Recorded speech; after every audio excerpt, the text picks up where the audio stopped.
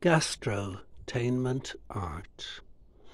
Sequestered in dark subterranean hotel kitchen dungeon, benighted pallid chefs and porters feeling high dudgeon. From odd waiter, maybe getting feedback second hand. In more enlightened eateries, such isolation be banned.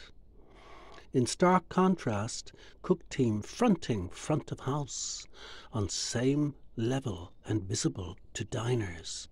Culinary noose in plain sight, players to the gallery with flair and panache.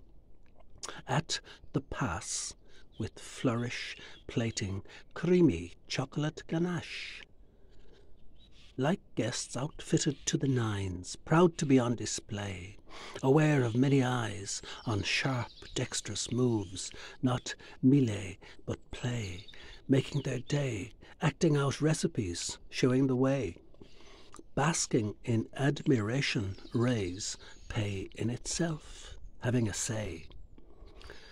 High point for all present when head chef mingles and mixes through client compliment welter, on each her gaze she fixes.